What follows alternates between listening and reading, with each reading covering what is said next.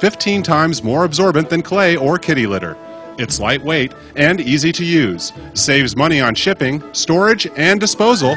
It's non leaching and requires no secondary cleanup. Reduces workman's comp claims and lawsuits due to injuries, slips, and falls since no residue remains after spill cleanup.